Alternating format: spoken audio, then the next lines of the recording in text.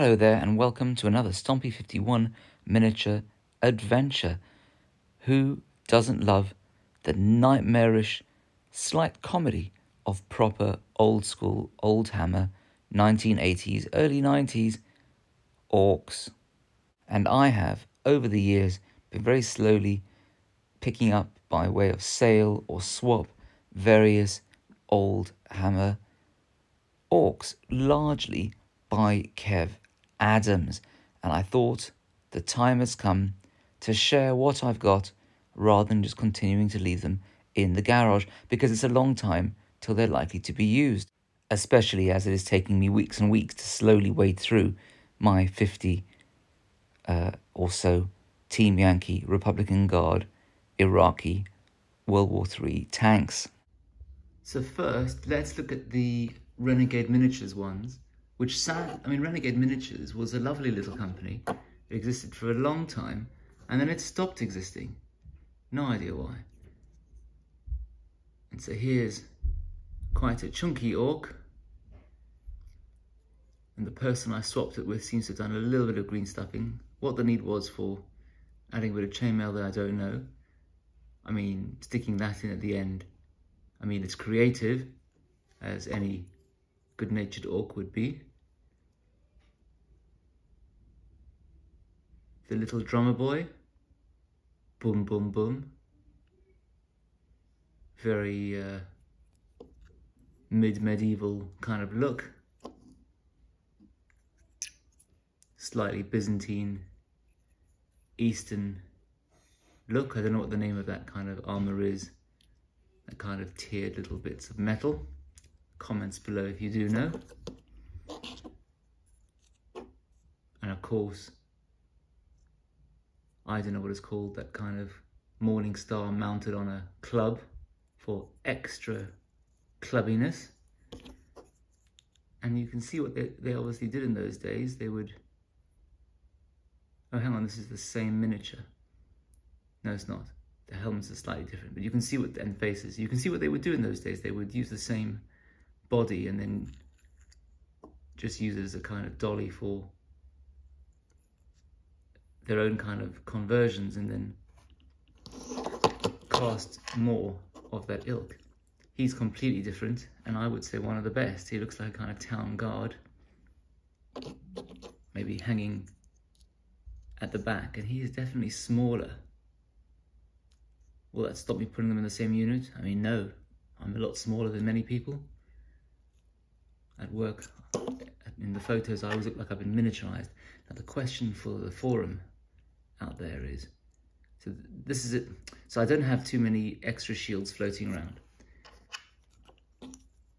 These are from some Avatars of War 3D printed, and they didn't come out fantastically at the back, but you know, no one would notice at the front. And that is a kind of old school look, but equally, it just doesn't seem quite right. So I swapped with someone on the Lead Adventure forum for their bag of shields and the shields must be some kind of 3000 BC North European ancient shields. Possibly, my guess would be, because I'm such a geek, I can identify these things, it might be from Wargames Foundry, who do have such range. Um, and they would fit, so I could give him that shield, and I think it looks just about fine. But the thing is, do you would be like the only dude in the unit with a shield. But then again, these aren't ever going to be in kind of mass units, I suspect, because I have vast numbers of plastic orcs for mass battles. These would be in some kind of game like 7TV, he's got a 7TV fantasy game, if I ever played that. I think these look like the old school orcs that they are imitating. There's Vanguard, um, which no one seems to like at my friendly local gaming store, but I think is alright, which is the Mantic kind of small scale fantasy skirmish game, but you know, I didn't see a problem with it. Does he need a shield? He does look quite good with that shield. Well, he doesn't quite look the same as the other guys. I mean, he's supposed to be the same unit as this guy. Oh well. Different people look different. Different orcs look different. Another big two-handed chomper kind of guy.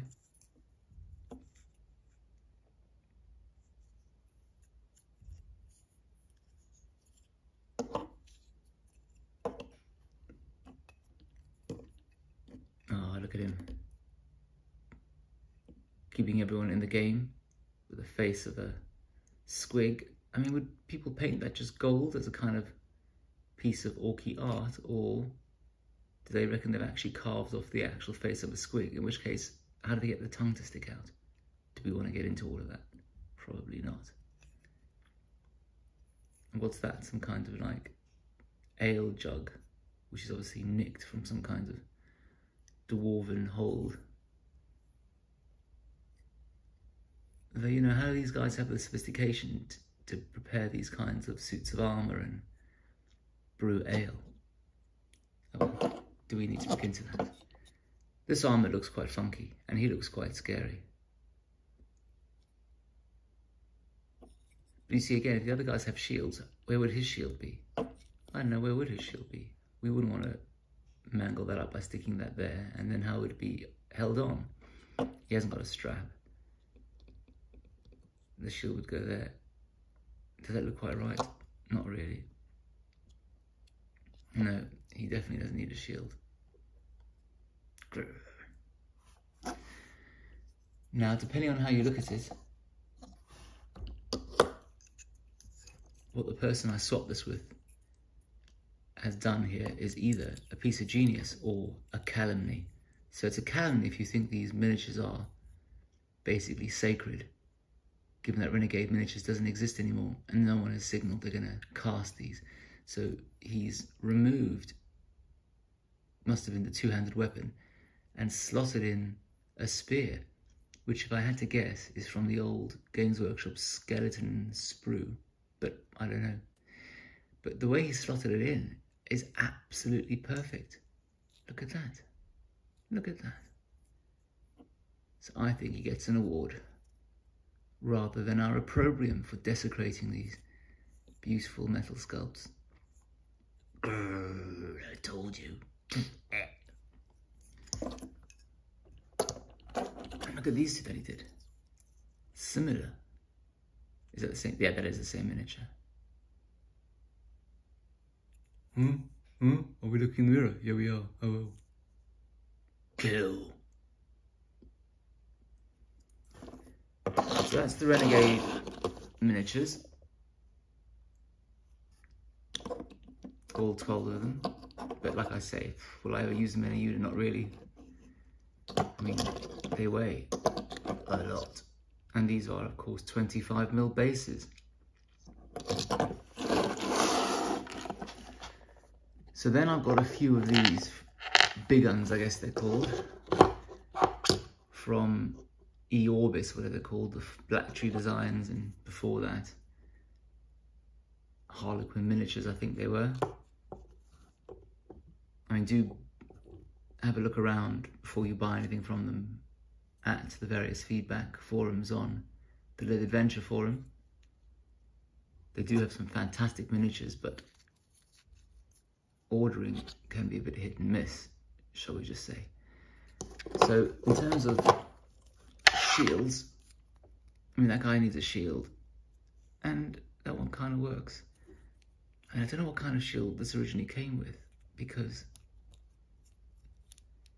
I, mean, I did buy these directly from Black Tree Design, but I lost the shield. But it must have been a high square shield or like a kind of, you know, medieval one. But I think no one's really going to notice if I stick this on the front. The only question is, I mean, it does look quite wrong from the back. But then again, who's going to be looking at it from the back? Maybe I'll go and look for another shield. But then again, because it, it, did have a kind of, and you still can see it, some kind of um, peg for you to stick the shield onto. Oh well. Hashtag first world problems. he looks angry. And he looks sufficiently angry with his little shield. And he'll ah, so he's also got that peg. And how does the shield look on him? Oh, just fine. I mean, it's a humongous sword. And they're cast quite nicely. And again, very old school. But are they compatible with the other ones? I mean, these are different sized creatures. let's get rid of that. Yeah, about the same height, just bigger proportions.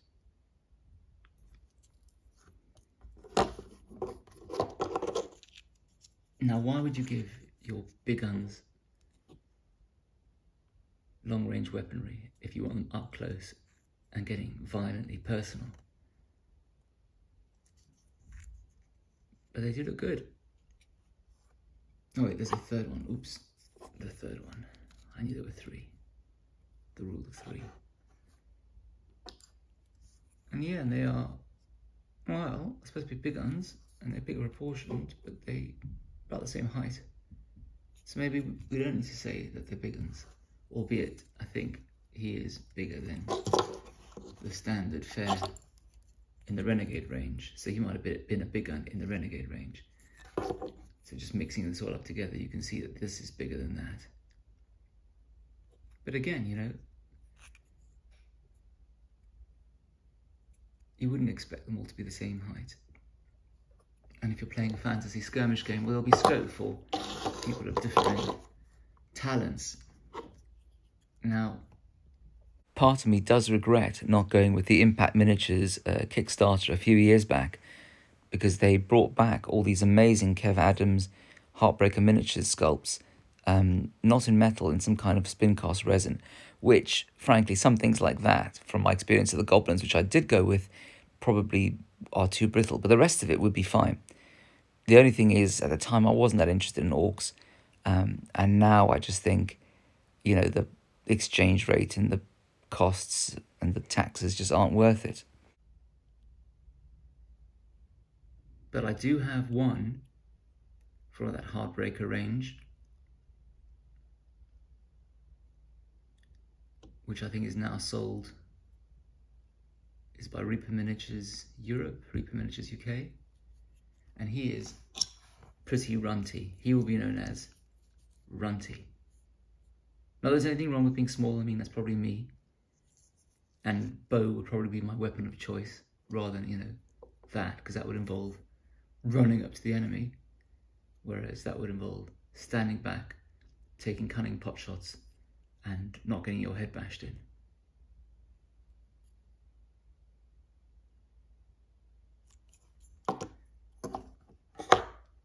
And then, and I wish I did have more of these, but I'm a bit reticent about all the postage and tax costs. But Kev Adams seems to have done a lot of work for the Greenskin Wars range by that Spanish company. Which would be Knightmare Games. Look at these. Don't do it. Don't do it. Think of Think of the postage and taxes, an appalling exchange rate.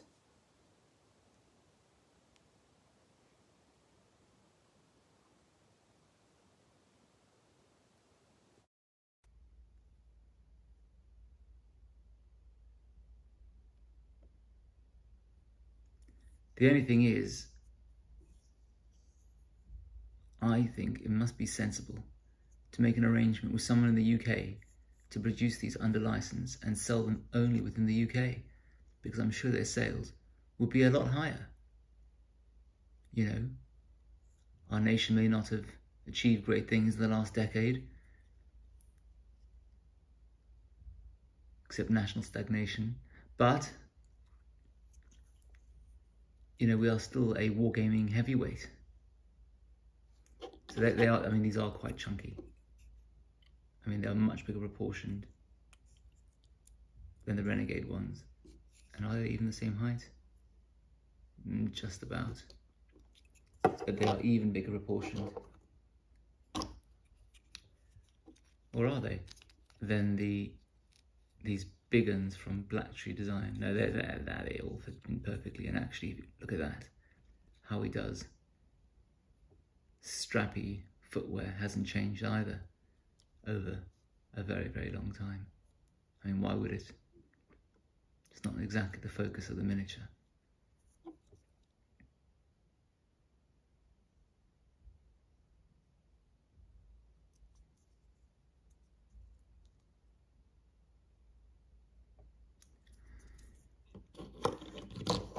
And then we move on to some Oldhammer, but I'm not sure who cast, who, who, who sculpted these. Bits. Is it, is it Brian Nelson?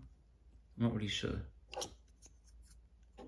So these two, again, clearly based on the same dolly with different weapons. Great fun though. And they are a lot smaller and very different in style.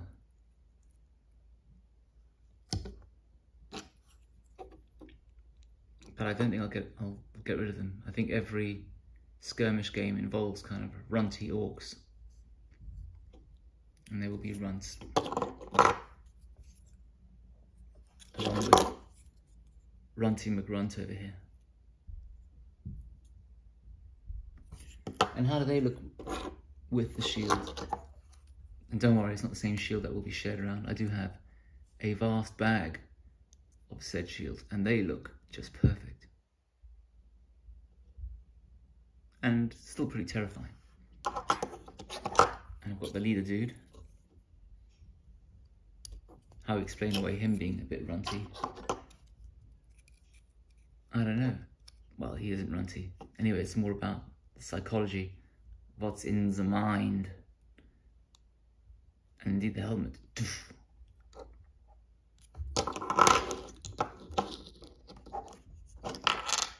And I'm not sure about that banner. I'm not sure if I need it.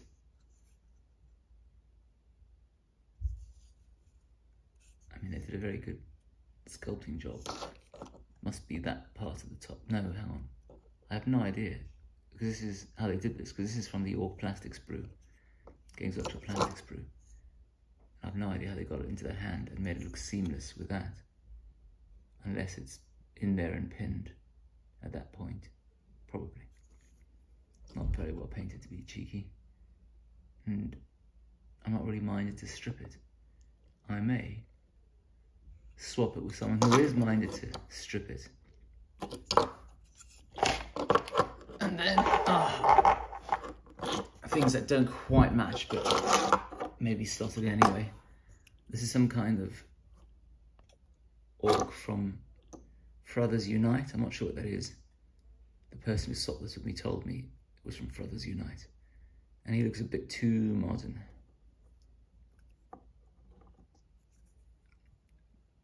Mm, but the faces don't look too different. Certainly once they're painted. I mean, the style of armor is very different because these are, because Kev Adams' armor style does make them look like kind of 11th century, 12th century Mongols. The Mongol Horde, the Golden Horde. But this guy looks pretty Lord of the Rings, which might actually suggest his future. Not that I'm minded to anytime soon, but at the back of my mind is the idea of buying even more miniatures and um, playing Lord of the Rings with an orc army based on the Oathmark orcs. And he does look like a giant version of one of those, making him an obvious boss. And then this guy has a little bit of a history. I originally bought him back in the day when I played loads of Blood Bowl. And I didn't put this fist on. I put on one of those kind of orc basher fists. So one of those uh, ogre basher fists that you get, that you, yeah, that you still get within the ogre sprues for the Games Workshop ogres and made him, and then did a bit of green stuff around the front and uh, made him, well, he was going to be a, a black orc. Character, but he always looked too military. And thank heavens I never got rid of this shield and this sword. And when I realized that the reality was I was more up for playing um, skirmish games than I was playing Blood Bowl, I found the sword and I got it back. And then perhaps foolishly, I've spray painted him in Army Painter Silver or metal, whatever it's called, because he's largely metal. I mean, he's largely wearing armor, but I'm not sure what painting that cloak red will look like on a silver undercoat or painting that fur some kind of black. But he is a humongous guy and is supposed to come on a 25mm base on which he does kind of fit. He does kind of fit. And I think he borderline, once he's painted, will look like he's of the same ilk as these guys. I mean, some beautiful runic lettering on that sword. Though that will be the least of your worries when it clunks you on the head. And will I put kind of blood for the blood god all the way along there for extra childishness and puerility? Yes, I will. Yes, I will. But anyway, first I need to get some people interested in some kind of game that uses these.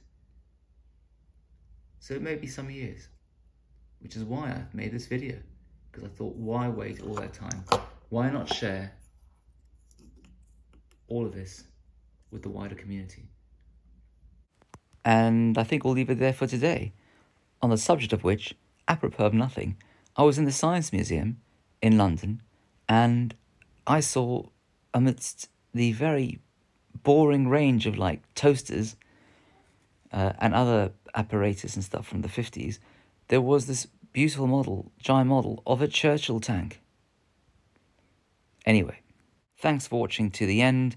Please do subscribe and like and comment. Not only does it kind of enable other people to see what's going on on my little channel because the algorithm prefers videos with these things, but it's fun for me to kind of see what people think and write back and we have a bit of a discussion about the geekiness, for example, here of 1990s Kev Adams sculpts. Have a great day or evening wherever you are, and I hope to see you again soon.